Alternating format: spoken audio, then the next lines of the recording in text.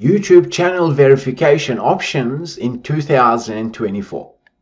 I'll show you where the settings are to verify your YouTube channel for YouTube video ads. When you're logged into your YouTube channel, on the left hand side you have settings.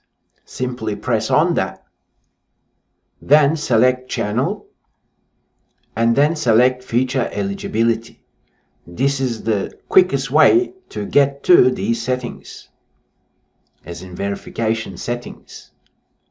YouTube allows different types of verification. For intermediate features, we need phone verification.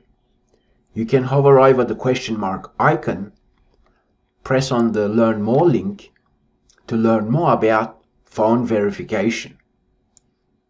Ideally, you should have advanced features enabled, but that requires different types of verification, whether it's channel history, video verification, and so on. Let's now press on Google account link and the settings are for Google account. This is for video verification method that you need to use to enable advanced features. On your Google account, you can access the same menu by pressing on personal info, scroll down the page and press on manage video verification. If you'd like to learn more, simply learn more as to how to verify your YouTube channel using video verification. So these are the settings.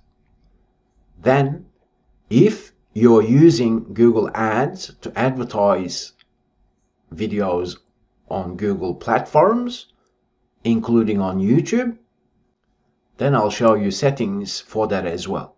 When you're logged into your Google Ads, under billing menu option, so this is the latest 2024 user interface. Then we have link for advertiser verification. Let's press on that.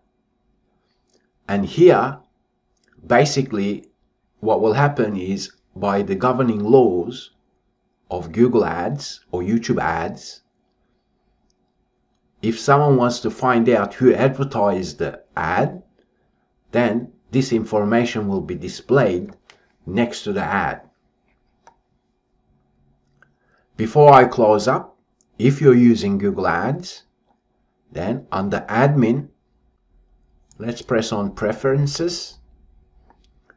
And here you should definitely include contact information for data protection contacts because the rules governing advertisement for personalized ads have changed in 2024.